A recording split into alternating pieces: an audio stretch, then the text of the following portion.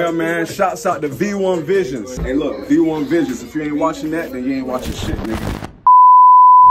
Yo, yo, yo. Yes, yes, yes, yes, Good, yes. It's good. So who I'm here with today, man? Umi Boomin, man. I'm one of AKA man. the, the, the big belly rude boy, AKA you don't know what the fuck I go on, AKA I got them packs for the motherfucking low, man. I'll let your boy know.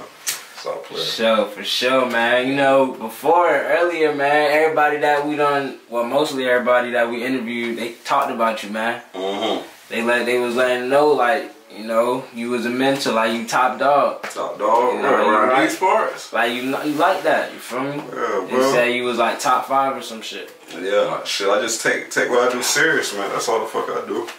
Well, hey, since a youngin', since a youngin', music, bro. I ain't fuck with no video games. I ain't had no, you know what I mean? It was like, man, put me on some music shit let's rock out, bro. That's all. Sure, sure. Yeah.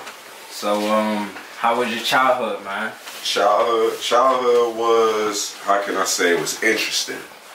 You know what I mean? We, we came from a, my mom was born in, over here in North Carolina, but she left when she was 18. So she went to Jamaica. You know what I mean? Grew up there 18 years, flew us back over here. And um, we've been rocking out ever since. Came back to a town called Edenton. And and shit was a little different, man, because we, we got looked at like like outsiders, bro. You know what I mean? What Like- you mean about that? Like, like we was we was them Jamaicans. You know what I mean? It was like who them Jamaicans with them stuff in their hair. You know what I mean? We was like one of the first niggas around Edenton with dreads, bro. So when that shit, when they see my mom with dreads, they was like, what the fuck is that in her hair? You know what I mean? So it was a little, it was interesting, man. But we, we fought through that shit. Now everybody rocking dreads. Everybody want to be Jamaicans. everybody want to eat curry chicken. Everybody claim they a Don Dollar. So um, in one of your songs, they said they knew me for, before the name switch. Yeah, Mark Dog. So yeah, how Yeah. that go? How that went about? Mark Dog, Mark Dog came about from for real, for real. My homeboy Capo. Capo, he I went over his crib. Me and Capo, twins, my nigga, since youngins, and um, I went over to his crib one time, and that nigga before he came, Capo, that nigga, his name was K Dog. So when I see his damn name, like K Dog, like shit, my name gonna be Mark Dog then. Fuck that shit, you know what I mean? And plus, I already like the pop shit, you know? It's just like shit, Mark Dog, guns, bar shit. Let's let's go with it, Mark Dog. But my mom hated that shit though. My mom hated that name.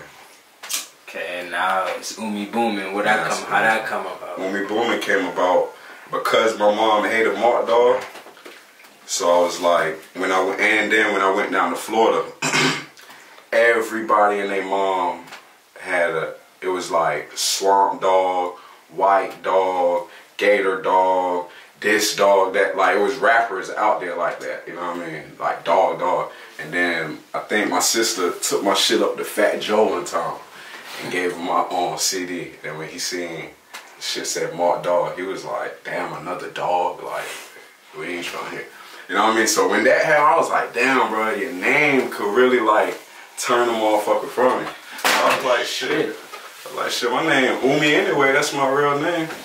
Like, Umi, I'm throw Umi up there and it's different. And then I came up with a song called Boomin'. And then I just put Umi Boomin' on that shit. And then we been going since. It's a catch to it too. Yeah, man. Shouts out to V1 Visionz. Hey, look, V1 Visionz. If you ain't watching that, then you ain't watching shit, nigga.